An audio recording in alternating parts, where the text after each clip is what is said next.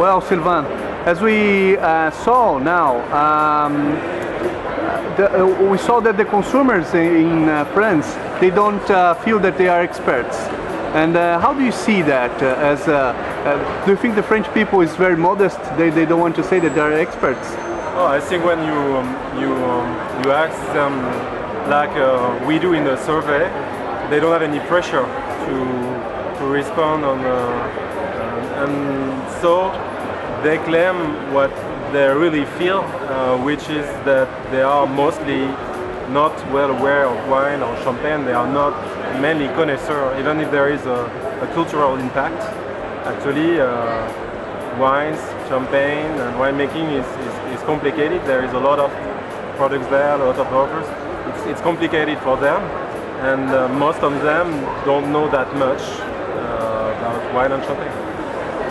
Well, uh, and talking about champagne, uh, especially in Brazil, it's a drink that is very sophisticated and uh, unfortunately very uh, uh, expensive. Do you, uh, I know that you have some clients here in Champagne, and do you see or are you preparing in, any, any kind of action that could bring the champagne to be more affordable and to for us and for the general public?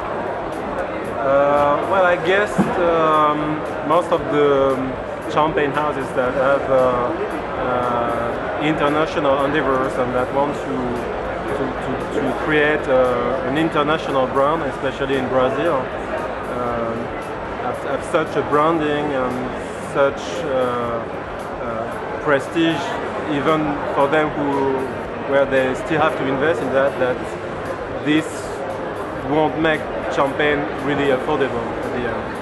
I guess the, the strategies and the communication towards consumers is to get closer to them uh, through events and even social networks, um, the, the, the, the, social platforms from champagne houses, trying to, to, to bring people closer to them, but this won't have any impact uh, on the price points, I'm afraid. Unfortunately. well, it's a good study that you have this barometer and I uh, hope we can make something in Brazil. Maybe you could run uh, this study in Brazil.